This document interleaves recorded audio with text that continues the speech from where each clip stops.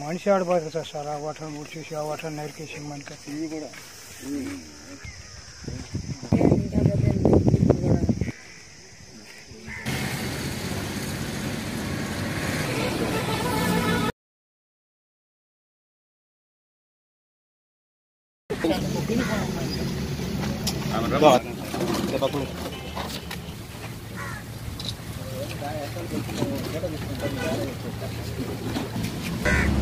గత నెల ఇరవై ఎనిమిదో తారీఖు రాత్రి మడమనూరు గ్రామంలో ఒక దారుణం హత్య జరిగిన సంగతి అందరికీ తెలుసు. అది యాక్చువల్గా చాలా సంచలనాత్మకమైంది. విలేజ్లో శ్రీనివాసులు అనే ఒక వ్యక్తి చాలా దారుణంగా ఇరవై నాలుగు కత్తిపోట్లకు గురైపోయేసి వాళ్ళ ఇంటికి దగ్గరగానే చనిపోవడం జరిగింది. ఇందులో భాగంగా మృతుడి భార్య ఆమె శారద అనే ఆమె తనకు అనుమానం ఉన్నట్టుగా మధు వినోద్ కుమార్ అనే లోకల్ గ్రామానికి చెందిన వ్యక్తిపైనే ఫిర్యాదు ఇవ్వడం జరిగింది. అతనే ఈ హత్య చేసి ఉంటాడనే అనుమానం మీద. సో పోలీసుకు ఆమె ఇచ్చిన ఫిర్యాదు మేరకు కేసు నమోదు చేయడం జరిగింది. క్రైమ్ నెంబర్ ఎనభై బార్ పంతొమ్మిది under section one twenty three అంటే కుట్ర మరియు హత్య నేరం కిందట కేసు నమోదు చేయడం జరిగింది. ఆ ముద్దాయిని కూడా యాక్చువల్గా పోలీసు వారు ఇమ్మీడియట్గా పసిగట్టడం జరిగింది. అతన్ని పిలిపించి విచారించగా తర్వాత గ్రామంలో రాబడిన సమాచారము దీన్ని క్రోడీకరిస్తే హత్య మీద హత్యలో పాల్గొన్న వ్యక్తుల మీద ఇతను వినోద్ కుమార్ కాదనే సమాచారం కూడా పోలీసుకు అందడం జరిగింది. సరే ఆ విషయం కాన్ఫిడెన్షియల్గానే గుప్తంగా గుప్తంగానే పెడుతూ ఒరిజినల్ సమాచారం ఏంటి? అసలు దీని వెనకాల ఎవరు ఉండొచ్చు అనే ఉద్దేశంతో దర్యాప్తు పూర్తి స్థాయిలో చేపట్టడం జరిగింది. దాని దానికి సంబంధించి గ్రామంలోనే మళ్ళీ వెరిఫై చేస్తూ ఉంటే తదుపరి మొదట హత్యా నేరంలో జరిగిన ఒక కత్తితో పాటు దగ్గరగా హత్యా దగ్గరగా రెండు కత్తులు రెండు బీరు బాటళ్ళు నాలుగు రక్తపుతో కూడిన కర్చీపు కర్చీపులు చెప్పుల జత ఒకటి ఒక తమిళనాడుకు చెందిన అగ్గిపెట్టె. కనపడడం జరిగింది. సో అప్పుడు కొద్దిగా అనుమానం విస్తృతం కావడంతో తమిళనాడు చెందిన అగ్గిపెట్టి ఇక్కడ రావడం దేనికనే అనుమానం మీద నెక్స్ట్ విచారిస్తే ఈ ఇందులో మనకు ఫిర్యాదు ఇచ్చిన శారదకు సంబంధించి ఆమె గతంలో తన పుట్టింటిలో ఉన్నప్పుడు తమిళనాడు ప్రాంతానికి చెందిన రాజు అనే వ్యక్తితో వైవాహిక సంబంధం ఉన్నట్టుగా కాస్త అనుమానం. సో అతనితో ఏమైనా దీనికి సంబంధం ఉండొచ్చా? ఎందుకంటే అతను తమిళనాడు బేస్డ్ పర్సన్.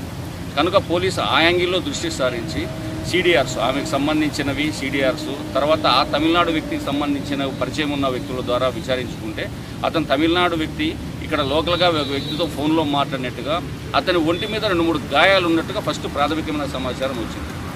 సో గాయాలు ఉన్నాయి కొత్తగా గాయాలు ఉన్నాయంటే మన అనుమానాలు మనకు ఉన్నాయి ఎందుకంటే ఆ ప్రాంతం హత్య జరిగిన ప్రాంతం అంతా కంపలతో కూడిన ప్రాంతము తర్వాత ముళ్ళు పొదలు అన్నీ ఉన్నాయి. కాబట్టి హత్యలో పాల్గొన్న వ్యక్తులు కూడా గాయాలు ఉండాలి అనేది మొదటి నుంచి పోలీసు వారికి వచ్చిన అనుమానం. సో వెంటనే ఇన్స్పెక్టర్ గారు ఎస్ఐలు వాళ్ళ సిబ్బంది అంతా కలిసి తమిళనాడు ఆ ప్రాంతానికి చెంది వాళ్ళ కోసం వెరిఫై చేయడం జరిగింది. జరిపి జరిపి పూర్తి స్థాయి విచారణ చేపట్టిన తర్వాత యాక్చువల్గా ఈరోజు నలుగురి ముద్దాయిల్ని ఈరోజు అరెస్ట్ చేయడం జరిగింది. ఇందులో ప్రధానంగా పాల్గొన్నది వెనకాల గ్రౌండ్ అంతా ప్రిపేర్ చేసినది మృతుడి యొక్క భార్య శారద. అలాగే ఆమె ప్రియుడు రాజేంద్రన్ అని చెప్పేసి ఇతనుకి గాయాలు ఉన్నాయి. ఇతనే ప్రధానంగా ఇన్వాల్వ్ అయింది. ఇతను విచారంలో చెప్పింది ఏంటంటే తనకున్న సంబంధము తర్వాత ఈమెను లైఫ్ లాంగ్ పెళ్ళి చేసుకోవాలనే ఉద్దేశంతో ఉండాలంటే ఆమె భర్త అడ్డంగా ఉండడంతో ఆ భర్తను తొలగిస్తే కానీ ఆమె తనకు దక్కదనే ఉద్దేశంతో తను దేవరాజ్ అనే ఒక వ్యక్తిని ఇంకో అతని పేరు? బాబు అనే బాలనేరస్తుడు ఇతను యాక్చువల్గా జువెనల్ బాలు. అతన్ని కూడా వాళ్ళిద్దరికీ చెరో యాభై వేలు ఇస్తానని చెప్పేసి ఒప్పందం చేసుకుని వాళ్ళ సాయంతో రెండు ఈ కత్తులు మూడు కూడా చెన్నై ప్రాంతంలో కొని ఒక మోటార్ సైకిల్ వేసుకుని అక్కడి నుంచి మడమనూరు దాకా వచ్చి మృతుడి యొక్క మూమెంట్ అంతా వాళ్ళ భార్య ద్వారా టైం టు టైం కనుక్కుంటూ గూడూరుకు వచ్చి గూడూరులో కూడా ప్లాన్ చేసి గూడూరులో అతన్ని మూమెంట్స్ చేసుకుని అతని నుంచి గూడూరు నుంచి ఫాలో అయ్యి మడమనూరు దాకా ఫాలో అయ్యి ముందు రోజు రాత్రి కూడా అక్కడనే క్యాంప్ పెట్టారు.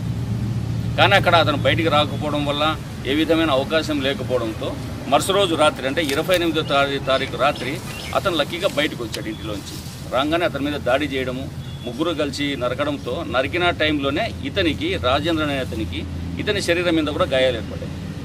సో ఇది యాక్చువల్గా ఈ దర్యాప్తులో ప్రధానమైన అంశం ఏంటంటే మృతుడికి కూడా జరిగిన గాయాలు. తర్వాత ఆ కర్చీపుల మీద బీర్ బాటిల్స్ మీద ఉన్న వేలిముద్రలు చెప్పులకున్న రక్తపు గాయాలు చెప్పులకున్న రక్తపు మరకలు ఇవన్నీ కూడా దర్యాప్తులో ప్రధానమైన అంశాలు కాబోతున్నాయి. వీటి విషయంలో పోలీసులు ఇమ్మీడియట్గా జరిగినాక ఒకవేళ ఈమె దర్యాప్తు ఫిర్యాదుదారి చేవూరు శారద ఎటువంటి తప్పుడు కంప్లైంట్ ఇచ్చినా కూడా పోలీసు వారు కేవలం న్యాయం పట్ట ఉండాలా కరెక్ట్ అయిన దర్యాప్తులో ఒరిజినల్ విషయాలు బయటికి రావాలన్న ఉద్దేశంతోనే ఇందులో పొలిటికల్ బ్యాక్గ్రౌండ్ ఉందని అది ఉందని ఇది ఉందని ఎన్ని ఒత్తిళ్ళు వచ్చినా కూడా లేదు ట్రూగానే దర్యాప్తు జరగాలన్న ఉద్దేశంతోనే ఆ విషయం ముద్దాయిగా అతను ఉన్నా కూడా అతన్ని పక్కన పెట్టేసి ఒరిజినల్ దర్యాప్తులో ముందుకు వెళ్ళడం జరిగింది. ఈ దర్యాప్తులోనే భాగంగానే మేము టెక్నికల్ ఇష్యూస్ అన్నీ కూడా దీంట్లో కన్సిడరేషన్కి తీసుకోవడం జరిగింది. సిడిఆర్స్ అంటే కంప్లైంట్ ఇచ్చిన ఆమెకు ఇతను రాజేంద్రకు మధ్యలో జరిగిన ఫోన్ సంభాషణకు సంబంధించిన డాటా తర్వాత ఫింగర్ ప్రింట్స్. ఆ బీరు బాటల్స్ వాడినప్పుడు దాని మీద ఉన్న ఫింగర్ ప్రింట్స్. తర్వాత రక్త మరకల కంపారిజన్.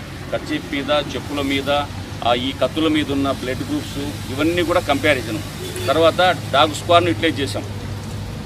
ఇవన్నీ కూడా చేసి ఈ హత్యలో పాల్గొన్న నలుగురు వ్యక్తులు అంటే ముద్ద ఈ ఫిర్యాదురాల యొక్క ప్రియుడు అతనితో అతను ఎంగేజ్ చేసిన ఇద్దరు వ్యక్తులు అట్లాగే ఆమె కూడా.